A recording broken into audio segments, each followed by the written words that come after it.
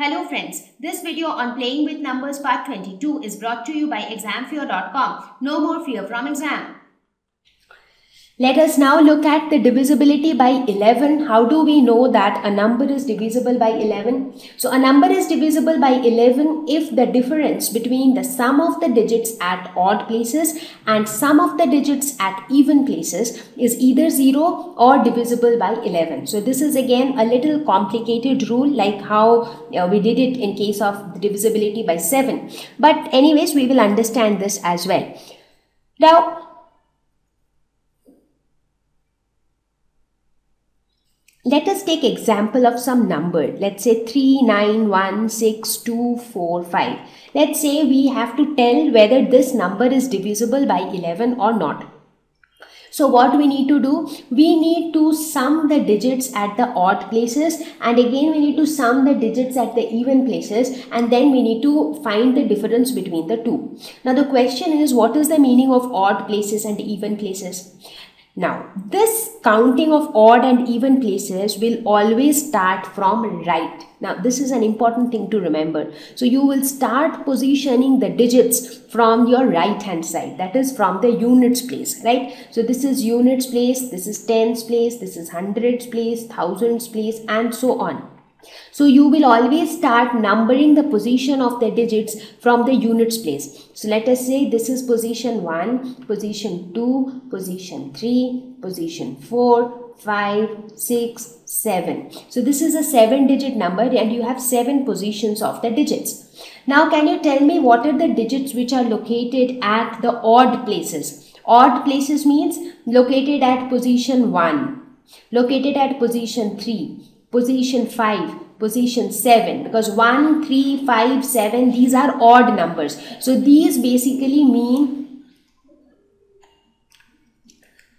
So these positions 1, 3, 5 and 7 these positions are the odd positions. So we call them odd positions. Now what about these positions 2, 4 and 6 these are the even positions.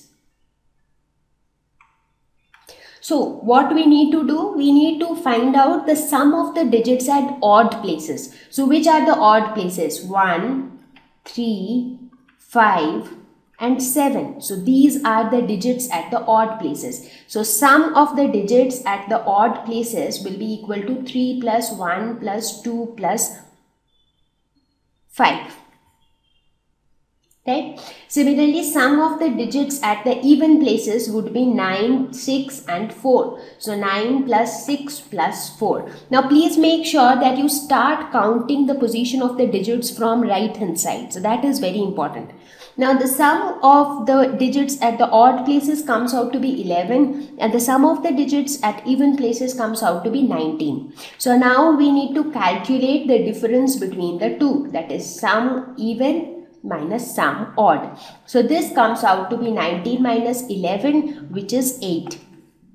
Now this 8 if this if, if this is either 0 or divisible by 11 only then the number is divisible by 11. So do you think that 8 is divisible by 11? No. So therefore this number is not divisible by 11. So this is the divisibility rule of 11. I know that this is a little complicated but it is not difficult. Now we will take another examples. The more examples we take the better the understanding becomes. So let us take the next example. So now we consider a number 1611312. So you have to determine if this number is divisible by 11 or not.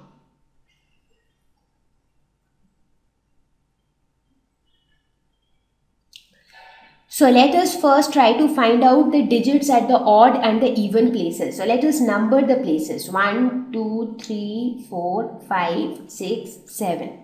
So which are the digits present in the odd places? These are the odd places, right? So the digits in the odd places are 1, 1, 3 and 2. So sum of the digits in odd places would be 1 plus 1 plus 1 plus sorry 1 plus 1 plus 3 plus 2. So this comes out to be 7. Now sum of the digits at the even places would be 6, 1, 1 that is 6 plus 1 plus 1 which is equal to 8. Now when you look at their difference, the difference is SE minus SO which is equal to 8 minus 7 that is equal to 1. This one is again not divisible by 11 therefore the number is not divisible by 11. So in this fashion you can determine if a particular number is divisible by 11 or not. Now again the same magic. How it works how how did we arrive at such a complicated trick to find out divisibility by 11 so for this let us consider a number. Let us consider a number 613261 it is a six digit number and let's say we have to determine if it is divisible by 11 or not. So what we do the first step as usual is to expand the number. So this is units place tens hundreds thousands ten thousands and lakhs so this would be 6 into 1 0 0 0 0 0 plus 1 into 10,000 plus 3 into 1000 plus 2 into 100 plus 6 into 10 plus 1 into 1. So this is how we can expand this number. So now in order to find its divisibility by 11, what is that trick which we can play with these numbers, 1000, 10,000, lakhs and so on. So what we do is, we do a very interesting thing here. So what we will do is, we will try to you know find out numbers which are divisible by 11 and make use of those numbers. Now you remember in divisibility by 3 what we did? We wrote 100 as 99 plus 1 because 99 was divisible by 3 right? So here also we will do something of that sort. So we will make use of numbers which are divisible by 11 so now this 1 lakh can be written as 1 lakh 1 minus 1 so we can very well write it like this. Now what about 10,000? So 10,000 can be written as if you want you can write it as 10,001 minus 1 but 10,001 is not divisible by 11. So by actual division you can check that. So since 10,001 is not divisible by 11 so we prefer it to be written as 9999 plus 1 because 9999 is divisible by 11 and here 1 lakh 1 is divisible by 11 so that is why we have chosen these numbers. So now you see how beautifully we will arrange these numbers. So 1000 again. If you write 1000 as 999 plus 1 999 is not divisible by 11 but if you write it as 1001 minus 1 so 1001 is again divisible by 11 so this is a better way to write it Again, when it comes to 100, you write it as 99 plus 1 because 99 is divisible by 11. When it comes to 10, you do not write it as 9 plus 1. Instead, you write it as 11 minus 1 because 11 is divisible by 11. And this is how we have very smartly written the expansion in a way where a lot of terms now are divisible by 11 and that is what we wanted.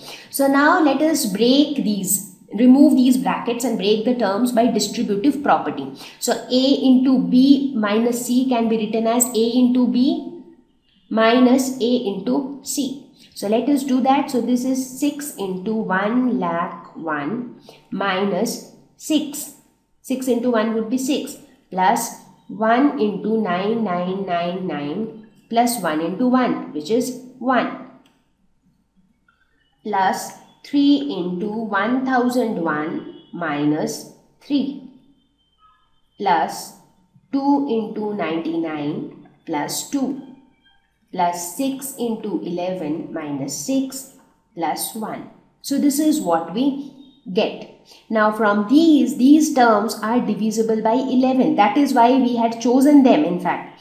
So these terms are all divisible by 11. So we are not worried about these terms. So what are we worried about? So we are worried about the remaining terms. So let us look at the remaining terms. So the remaining terms are minus 6 plus 1 minus 3 plus 2 minus 6 plus 1.